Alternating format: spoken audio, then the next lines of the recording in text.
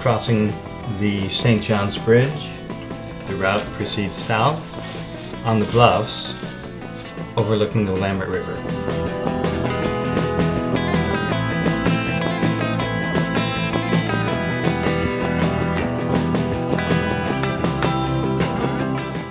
Across the river is a nice view of Forest Park and downtown Portland.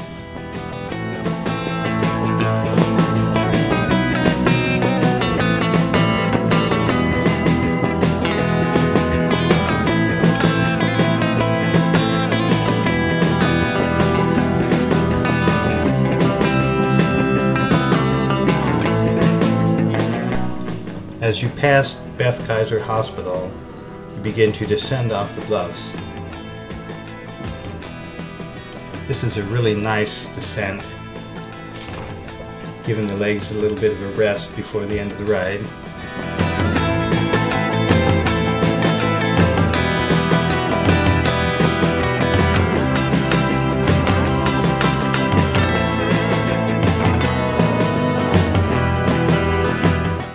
This brings you back to Interstate Avenue and the ride is nearly over. There's the Memorial Coliseum, hopefully someday an indoor velodrome. And back onto the Broadway Bridge.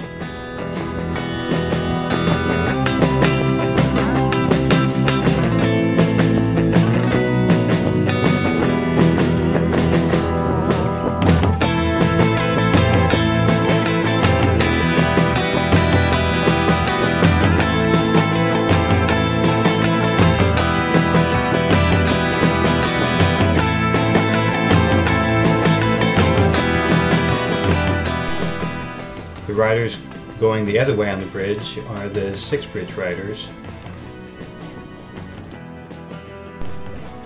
Lots of bike trailers and 12 inch wheels in that group.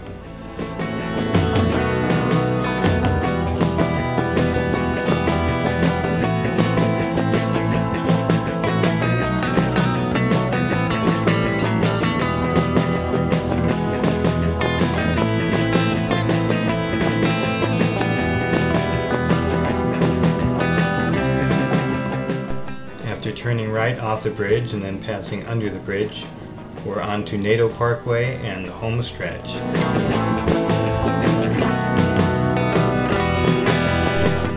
Towards the finish line, things definitely get crowded and slow, but enjoy the ambiance.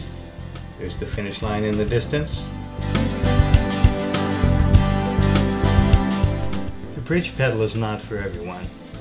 If you want to go out and hammer on uncrowded roads, this ride is definitely not for you. But if you're looking for an interesting ride with 20,000 or so close friends, and you want your entry fees to go to a great cause, then I highly recommend this ride. In any event, everyone must do this once. Here's the artsy shot.